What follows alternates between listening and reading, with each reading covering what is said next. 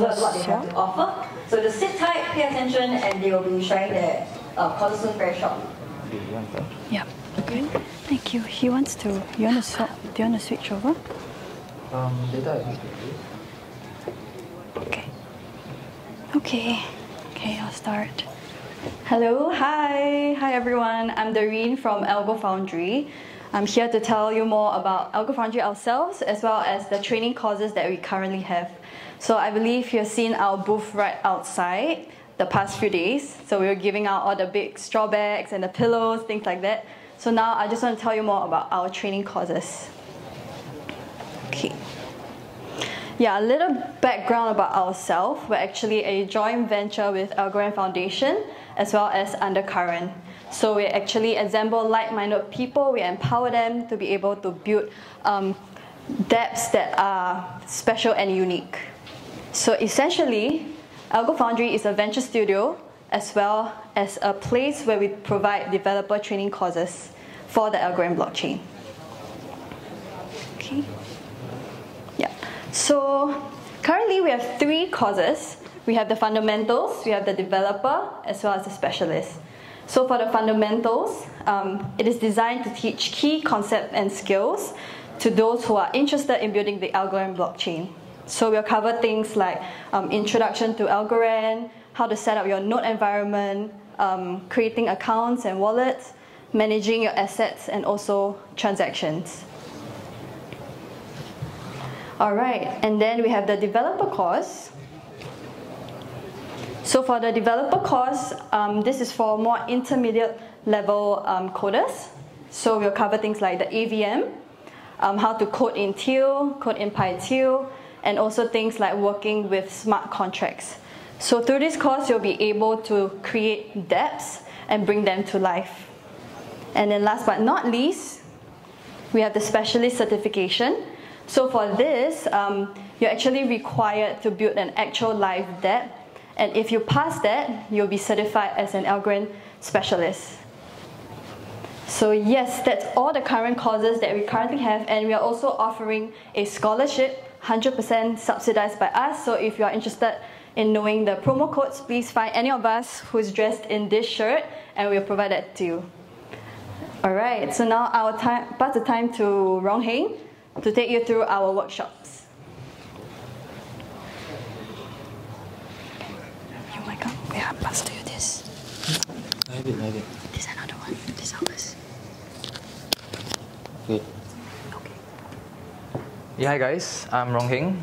So um, today we're going to do some uh, bit of a workshop here. So we're going to talk about uh, front-end integration, um, front-end integration with smart contracts, and we're going to go through a bit about smart contracts using PyTeal. And then we're also going to uh, have some hands-on time later on, and then uh, I'll go around, and I'll, you guys can ask me any questions, and I'll try my best to answer them. Uh, some of my colleagues here are here as well. You can also ask them. Uh, they're in the, the foundry foundry shirt. So yeah. And then uh, we also talk a bit about wallet integration because uh, you always need a wallet, right, uh, on uh, Web3 to integrate uh, to interact with smart contracts. So that's what we'll be doing as well, and a bit of that. And then we'll end with some uh, Q&A. All right. So firstly, smart contract integration. So basically you would have to have uh, smart smart contracts already, obviously, uh, already written. So later um, later on, I'll provide some links. You guys can download some code uh, that we have uploaded on GitHub that will help you to get started with a simple smart contract boilerplate, and then we'll actually try and do some uh, smart contract integration, basically interacting with smart contracts uh, using code, and then you know trying to make uh, smart contract calls and, and basically interacting with smart contracts on the Algorand blockchain. So there's some prerequisites. So I hope that you know earlier in the day you guys have got your environment set up and stuff. Um, some prerequisites like we need like Docker, and we also be working with the Algorand sandbox, which is basically a sandbox environment that allows you to simulate uh, Algorand blockchain locally on your environment, and uh, is run in Docker container. So that will help you to quickly develop dApps and also help you um, quickly iterate on the dApps and you know make fixes, make improvements quickly, so that you know you don't have to spend like uh, real tokens. You can simulate this locally uh, on your on your laptop, and you know create dApps on the fly. So, and obviously we will have some. Uh, you have you also need Node.js and Python as well, because uh, we'll be using some JavaScript to actually interact with the smart contracts, and then we'll also be using some um, Python, which will be uh, for the smart contracts, which is to uh, write the smart contracts because we are writing smart contracts in PyTeal. So I think PyTeal is one of the more popular languages now for and smart contract development. So that's what we'll be uh, focusing on and working with. Yeah. So let's begin with the first one. Um, you guys can um, go ahead and you know visit this link and basically you can clone the repository and then right now we'll start going through the workshop, right? It's a hands-on thing. So I will give you guys uh, a few seconds to, to type down the link. Your name is Daniel with you. Sorry. Your name is Daniel with you. You can sit down.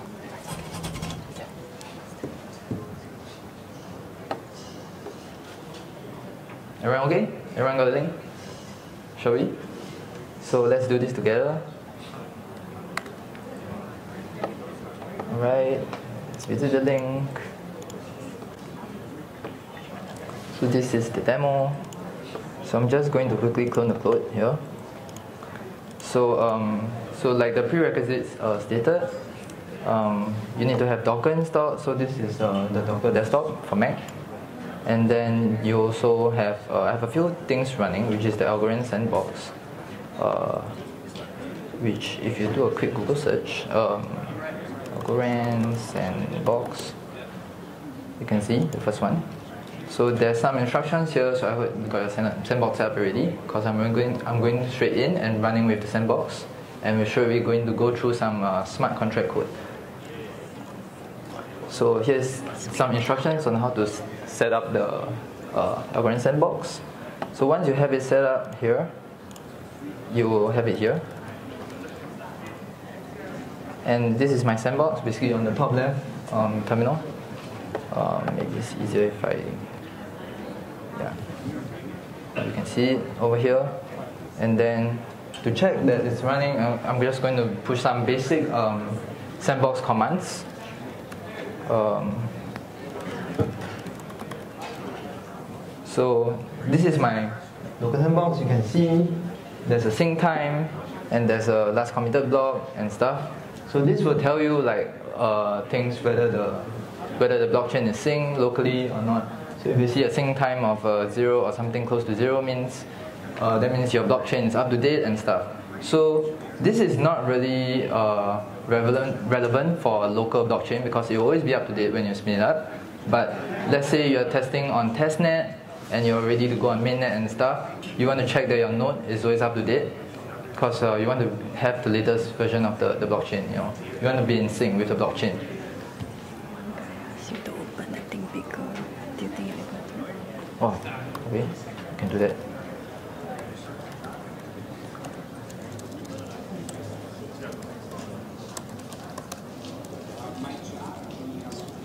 So small. Too small. Yeah. Is this better? I just run it again. Right? And then if you can see, um, you can see the Genesis ID, this is called SandNet on Algorand. So this will give you your local blockchain environment that you can work with and work on. So next, um, let's go to the link here. And I'm going to clone the repository here. And we can immediately begin on working with the demo. So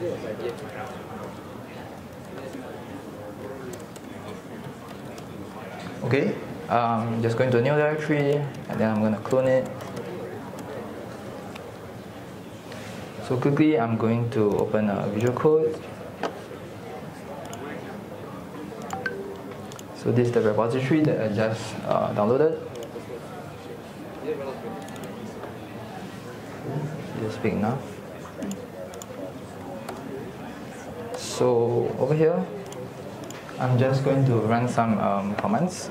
So there's actually a README inside with some instructions on how to get this set up. So let's look at that. Okay, so you know we have to basically do some basic installation of the, the packages and stuff. Okay, and then um, basically update some um, configuration files and then uh, basically run the application. So what this is, right?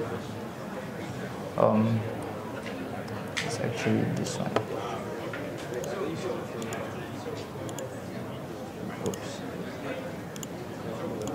Sorry, that was the wrong one. Uh,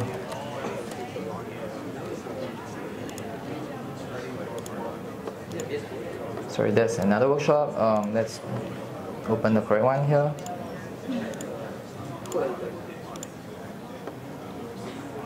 Yep. It's the one. Okay. So yeah, this is a simple um, smart contract with a simple uh, JavaScript on the front end. So firstly, we are going to go through the, the smart contracts. So if you go into the smart contract directory,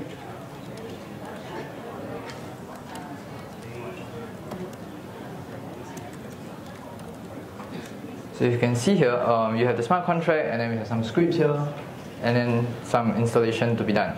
So firstly you'll need Python um, and that will help you uh, install some of the, the libraries required like PyTeal which will help is the language for um, Algorand smart contract development that we're going to use for this demo.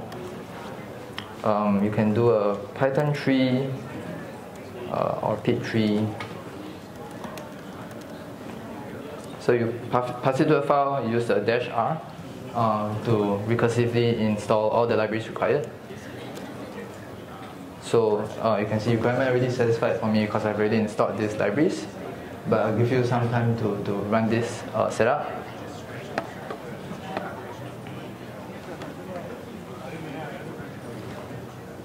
Right? Anyone need more time? No? Okay, I'll move on. And then next, uh, we're going to go through the smart contracts in a bit. So there's a script here. So let's go through what it does. Um, yeah, so this is the smart contract. So this is written in PyTeal. You can see we have um, two major functions, two main functions. So this is a clear application and a approved application.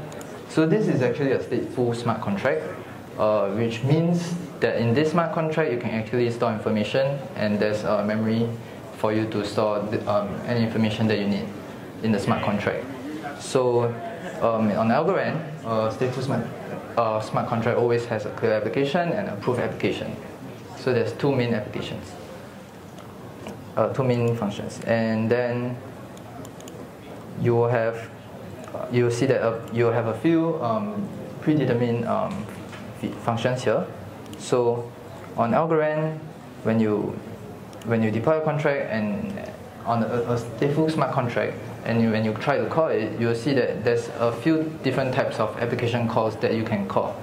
So if we go down to this portion over here, you can see that we have defined uh, a few things that that are the types of uh, application call that we can call that we can call on. So if you go to on create, this means that on the smart contract creation, you will run this piece of code. So this smart contract application is basically a, a simple boilerplate um, that has an admin, admin address. So what it does this is basically storing, um, as you can see here, the creator address inside, inside the state of the smart contract. So this is actually common in many smart contracts uh, in the sense that you know you want to you want to if you want to manage the smart contract or if you want to keep some kind of administrative access to the smart contract or if you want to uh, build some features that are administrative then you you want to know who is the, the admin right which which account is the admin, and you want to be able to, to basically um, retain control of the contract. So um, simple thing here, so it's just setting the, the creator address as the owner and returning one. So one means uh, successful. And then you can see here, next one we have is on update, uh, on delete, and also on opt-in. These three, uh, I'll explain the first one. So on, we are rejecting all three. So we're rejecting this uh, on update and delete. What that means is when you try to update the smart contract, because on Algorand you can actually call the update function to update the smart contract, and that will actually you know replace the smart contract with the, any updated version of the smart contract you want. So it's, it's slightly different from um, other blockchains where you have like for example on the EVM blockchain, um, you might want you, you can't really update the smart contracts unless you use a different pattern. Like if you use like a proxy smart contract you know with a different smart contract design then you are able to update the smart contracts. But on Algorand this feature is built in so you can actually just update your smart contracts uh, with, with the update call so in this case uh, we don't want our smart contract to be updatable. This can be for for trust reasons you know if you don't want to surprise your users by hey we're just going to update our smart contract and change some code that may or may not be malicious so most most of the time we will always reject the update and um, delete uh, application calls. So on delete, uh, it's also the same. Um, delete is basically allowing you to delete the smart contract.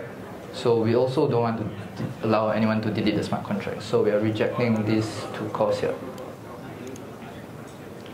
And then this is the opt-in. So on Algorand stateful smart contracts, right, you have this thing called opt-in. So what this does is you approve the smart contract to basically, um, and then you spend some algos with as fees, and this will allow the smart contract to write to a state, uh, a local state. So what this means is this allows the smart contract to store information uh, that is related to your account.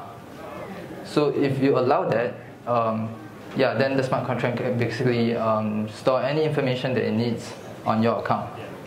So this is actually uh, useful because uh, smart stateful smart contract itself, although it has a global state, it might not be enough. There, there is a, there is not enough uh, storage for like all the users. Let's say if you are deploying a smart contract and you have you're expecting like over a thousand users and you have a lot of information you want to store, it's not possible to store it on just the smart contract itself because of the, the storage limitations that we have now.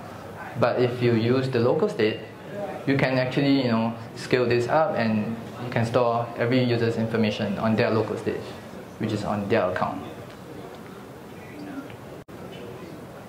And then this is the closeout. So for the closeout, we will usually reject the call.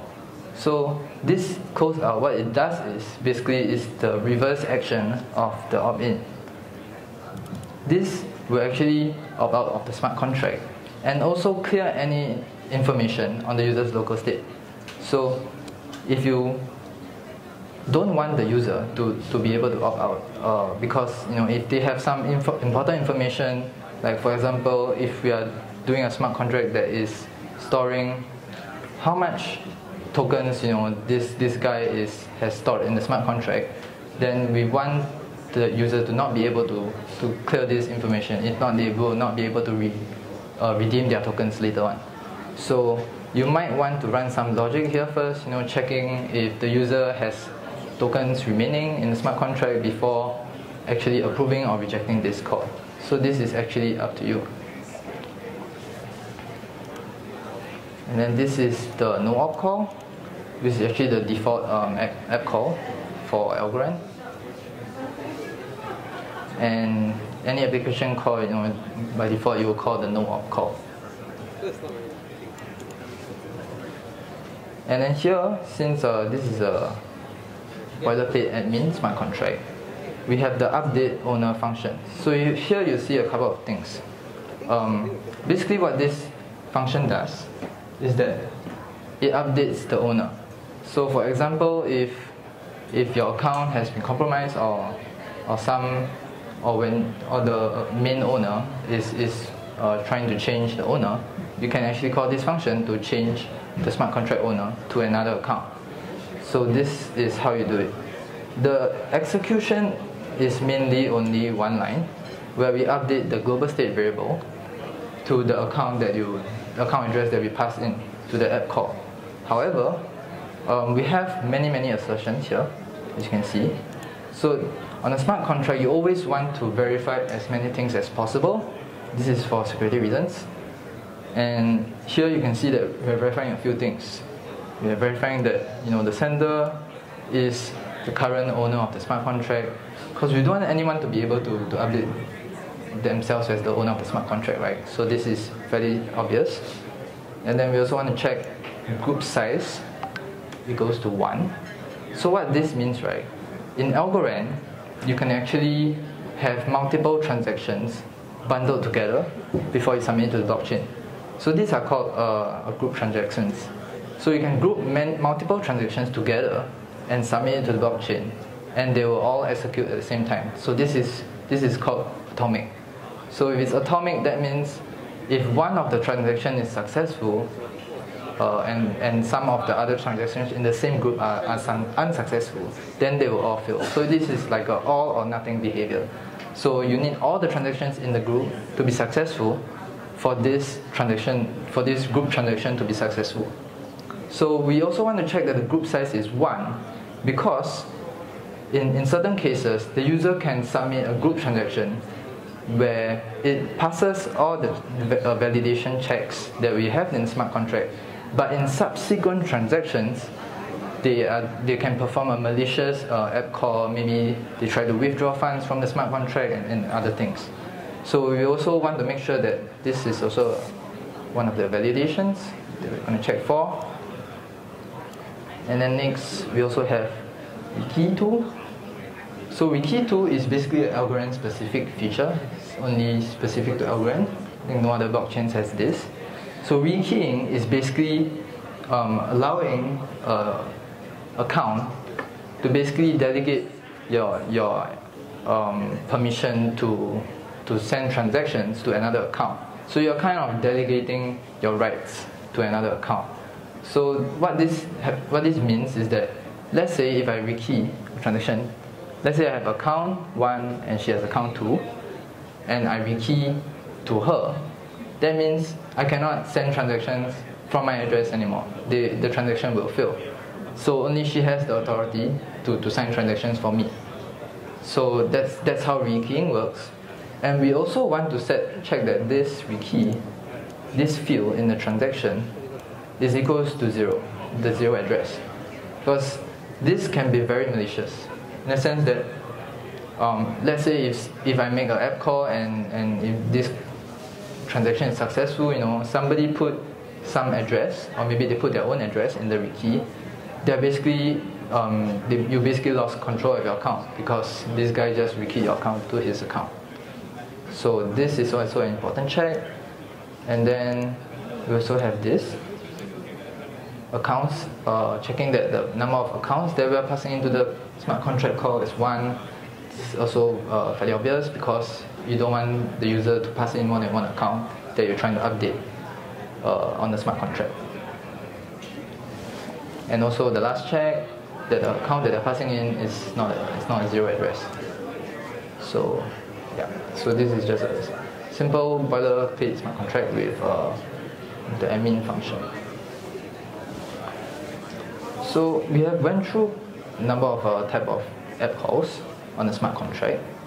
So what this does, uh, we have went through all of this, and then uh, update, delete, opt in, close out, and then we have the router. So what this is, right, uh, is that we have created a router here to basically allow you to do multiple types of smart contract calls. So as you can see, right, the on-complete type, so on the on-complete type of this transaction is, is no op. So that means if you want to implement more than one function on a smart contract, the, the, the type will always be a no op call. So that means if you want to implement more than one function, you should implement some kind of a router such that you can um, have different methods, uh, different functions on the smart contract, and then you know you can actually add plenty of uh, features to your smart contract. So this is this is usually how we do it. And then you have um, two more functions here, which basically just compiles the smart contract. Uh, so this is written in PyTeal. We will compile this to native uh, Teal, which is the Algorand uh, smart contract language. And then, uh, yeah, so that's the smart contract. So far, does anyone has any question regarding this smart contract? Sorry? The rekey. Okay. Sure. So rekeying, uh, yeah. So this is very specific to Algorand. So, for example, I have an account, right? Let's call this account A. And I have, yeah, so when I say account, this is referring to my, my wallet, right? So when I have this account, right now I own the account. And I can send transactions from this account, I can send funds, I can send tokens from, from me to anyone else. I have control of this account.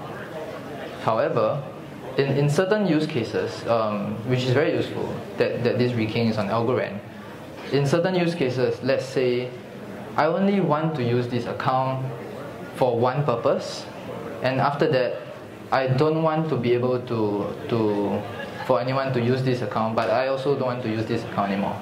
In the sense that uh, it's a one-use account, but I still want to, to keep control of it.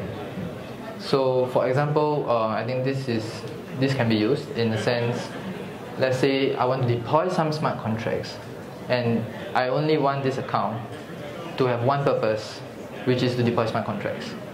So what I can do is I can deploy smart contracts with this account, and then I can rekey it to her to a second account, which I will be able to control the smart contract in the future, right? So I don't have to you know use the existing account. Maybe because when you deploy the smart contracts, you already have your mnemonic um, touch a certain device, and, and that's a security thing, right? Because if it touches a certain device and this device has a connection to the network, which is the internet, that means it's exposed to the internet in some ways. And although you, you're not sure whether this can be secure or not, I mean, you can play it safe and you can rekey your account to another account, which has could be a hardware wallet and that has never touched the internet before, right? So this is more of a, a security feature and also it can come in many, it has many convenient use cases as well. Does that answer your question? Thanks. Okay, so next, um, Oh, one question. no, more down, on line number 40. Line number 14. So uh, yep, uh, it's supposed to be only one account, right? Uh, we are taking that to as be the account? only one, right? But we are comparing it with index 1 and not 0. Yes. Is it on purpose? So yes, this is also an Algorand thing. So if you look at the accounts array in the transaction, when you, you look when you see it from the smart contract, um, and also this is also in the PyTeal documentation. This is this is pretty nice. So if you want to know who is the the sender address, is always in account zero. This is this is kind of like pre predetermined the Algorand thing. So any variables, any accounts that you pass to the app call will always start from one. Yeah.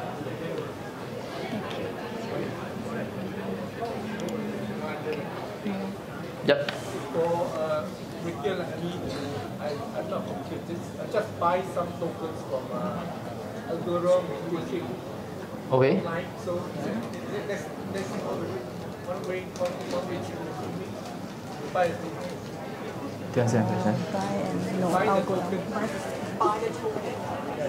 Now boilerplate smart contract, which is the, the owner. So if you see here, update owner, which is from the router, right? We define it as update owner. So this will tell the smart contract, oh, this is actually update owner uh, function call, application call. So that's why we, we define it like as this. Also, for application arguments in Algorand, they have to be formatted a certain way. This, this is why you see us doing a few things. So this is basically a string, update owner, but we also have to convert it into a uinit array. So this is these are the data types that um, is uh, works with. That's why we have to use the specific data types for for application calls. If you if you mouse over um, the function which is make application call, so this the details here are from the Algorand SDK. They will tell you um, what kind of uh, parameter types you need, and if you look at application arguments, is is a uinit array. So there's there's also a bunch of uh, formatting to be done when you're working with uh, Algorand applications. Yeah. And then since we are updating the owner, we are going to pass in the new owner address here, which is in the accounts array. So one thing, um, yeah, so after that, once we have the, the transaction object, we created it, we have to submit it within uh, a thousand blocks because based on the params here, uh, which we fetched from the blockchain, we have to submit it, this transaction you know, so, as soon as possible within a thousand blocks. If not, this transaction will no longer be valid when you try, try to submit it later in the future. And then this will help us get the transaction ID, which is the transaction hash, which identifies uh, how, how unique uh, each transaction is. And then over here, which you can see is similar to the code we have earlier. This is to sign the transaction. And it signs the transaction object with our um, private key, which is derived from the mnemonic. And that will help us uh, yeah, validate that we are actually the correct sender of this transaction. And then we will send the transaction to the blockchain and wait for the transaction to be confirmed by the blockchain. Right, so yeah, this is the simple example uh, of our front end. UI integration with the smart contract. So far, does anyone have any questions regarding this? Or if you're actually trying this out on your own, you can also ask me. Anybody? No? Guess not. Guess not? Okay, let's move on. Uh, right, let's go back. This is the workshop.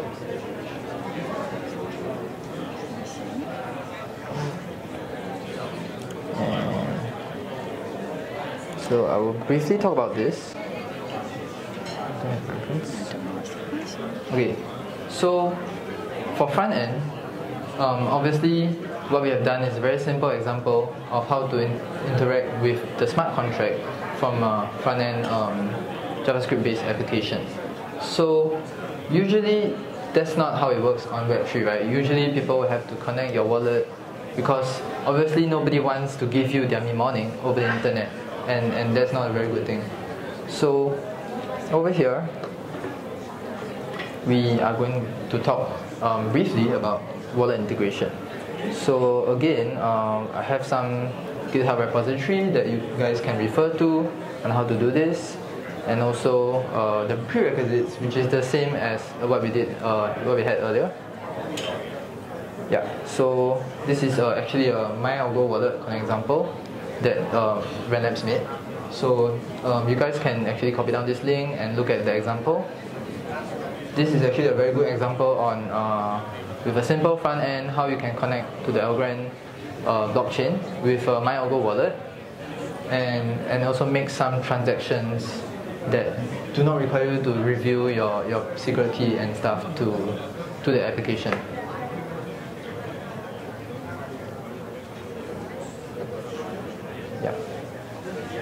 So I'm gonna give you a bit few, few seconds to copy this down.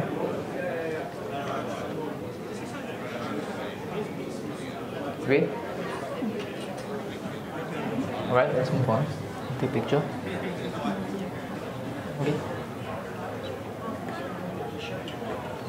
Alright, so let's where we're gonna end. So you guys can actually try out the application that uh, the link that I sent earlier. You can try out yourselves how to work with uh, Algorand wallet. And also based on the previous code example that I went through, you guys can try to integrate that and use your wallet to basically interact with a smart contract. Anyone got any questions?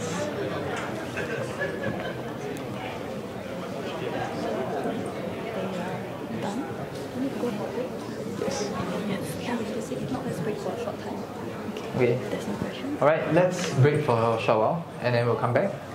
And then uh, we'll be talking about smart contract security after this. So uh, we're back after a short break. Thank you guys. Got one Yeah. question. I, I guess you are from the institute, right? How long does this take from beginner, beginner up to? From your experience. From my experience, um, it depends actually whether you already have um, some web development knowledge because it's, it's actually really tied closely to, to web development, web 2 stuff because you know it's web 3 right? So it's a step up from there. So if you're already a web developer it shouldn't take you a couple of it should take you about a couple of months to, to get up to speed. And if you are familiar with blockchains and, and other existing web 3 technologies um, yeah it should take you even shorter than that. So yeah and also the Algorand um, developer documentation actually is uh, improving like really quickly over the over the uh, months actually at a rapid pace. So actually the documentation is really good now. They have very specific examples and covers many many use cases that you can actually look at to actually create any kind of uh, application that you might want to create.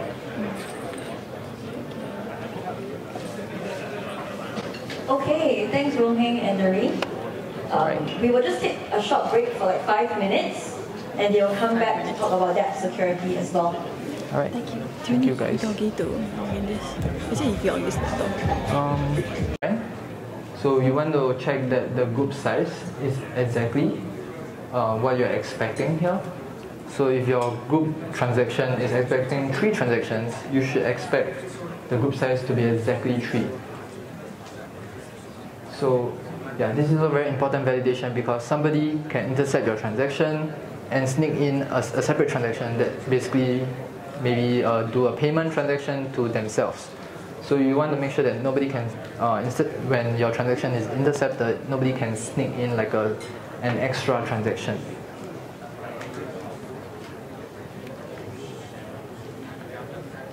And then we have the sender and the receiver. So yeah, this is a pretty basic check here, uh, but you still must validate it uh, for specific app calls, like the example I had in the previous talk, which is to update the owner address. You want to check that the sender is actually the correct sender you know, that you have stored in global state, or if you're expecting some other address or other variables, uh, that should be validated. Same for the receiver, whenever possible, you should always validate the receiver.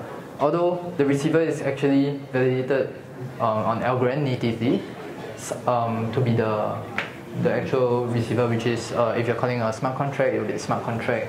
Uh, but sometimes if your uh, smart contract is doing something unique, something different, and you're expecting a different receiver, you should always validate this field. Okay?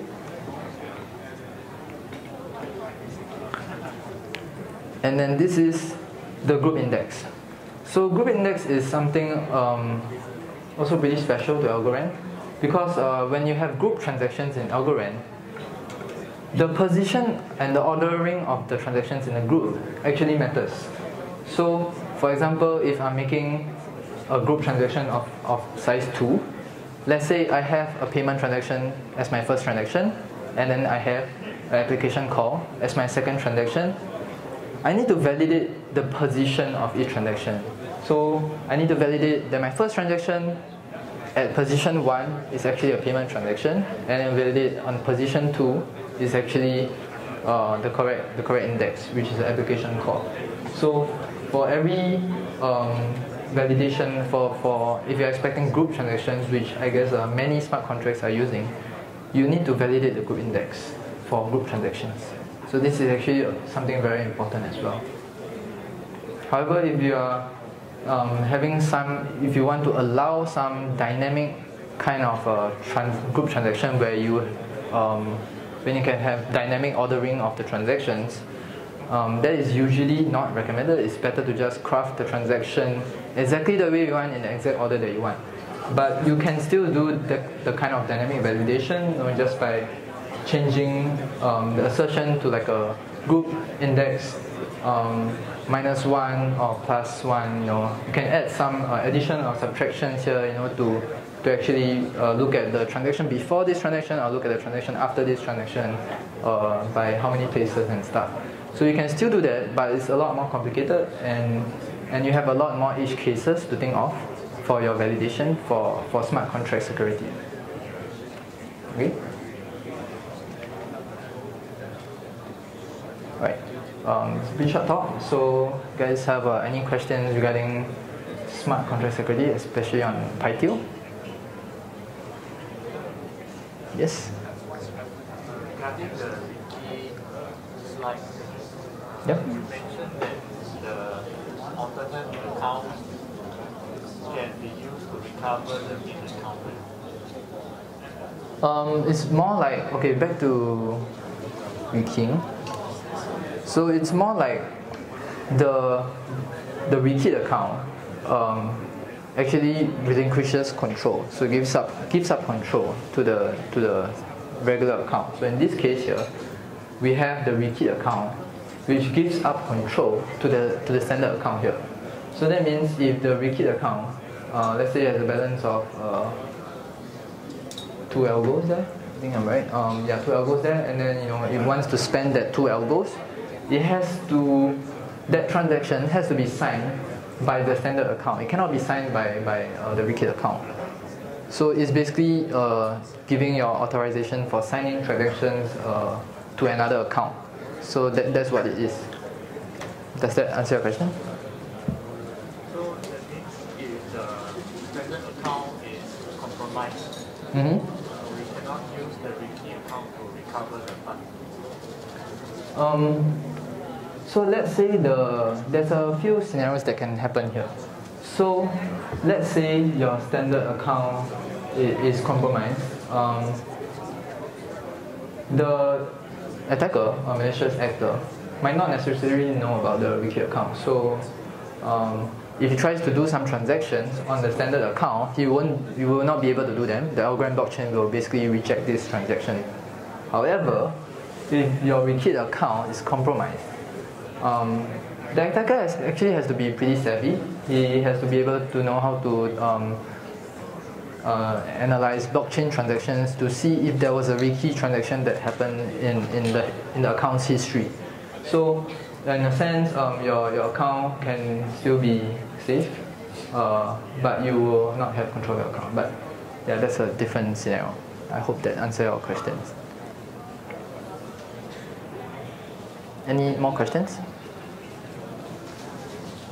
Can I ask, uh, go back to what, ask your in-house, Mm-hmm. um, your ESL is analyzed off-chain, right?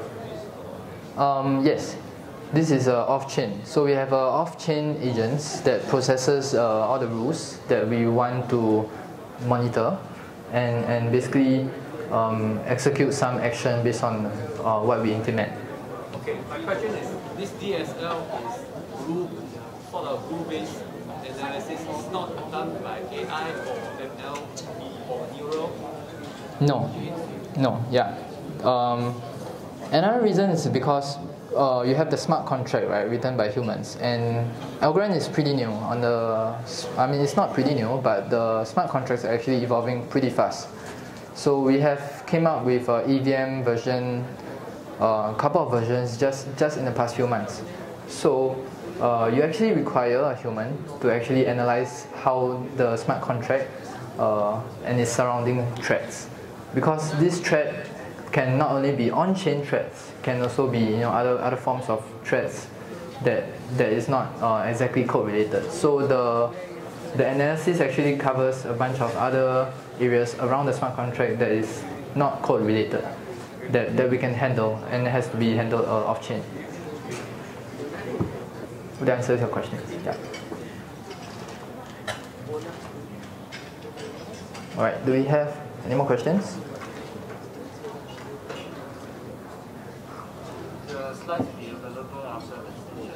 Yeah, yeah. Um, yeah, I can I can upload these slides. Uh, yeah, later on.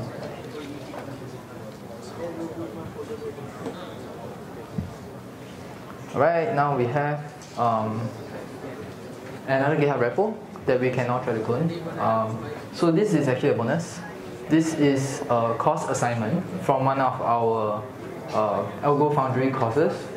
So what we have here is, is basically a showcase of uh, one of the course assignments, you know, some exposure as to what the our course will be teaching about, and basically it's a simple example here. Uh, there is a question on the branch, uh, on the on the code base, and there is also um, all the scripts set up for you that you can and run yourself. And there's also a solution as well. So after you complete the assignment, you can actually look at the solution to see if you're actually correct. So this assignment is about uh, a game, uh, a monster game. So I will just show you. Yeah. So this is about a game. You know, it creates a monster uh, with a with five hit points, right? So basically, the the reward of the game is to basically uh, damage the boss, uh, the monster, with uh, as many damage points as possible, and the highest uh, player that does the most damage is awarded one award uh, by the contract creator. So the, this is a larger smart contract with uh, more features than the one I showed you in the, in the previous uh, demo, but uh, this is one of our course assignments. So what we have done is uh, we have all the features implemented, but if you want, you can um, start from scratch, uh, write your smart contract on scratch from scratch, and actually try to implement this this game, and look at the solution later on to see you know if you are correct. Uh, we also have removed all the validations. So all the assertions regarding smart contract security. So it's uh, something you can try out on. You can try to look at the functions on the smart contract. You can try to um, add these security checks that we just talked about.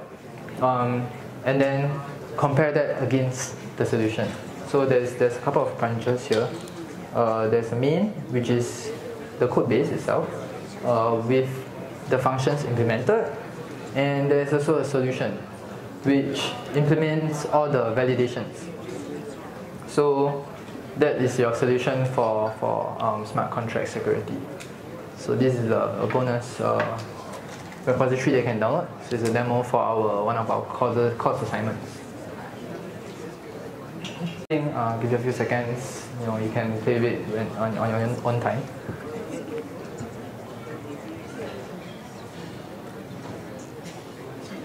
Okay.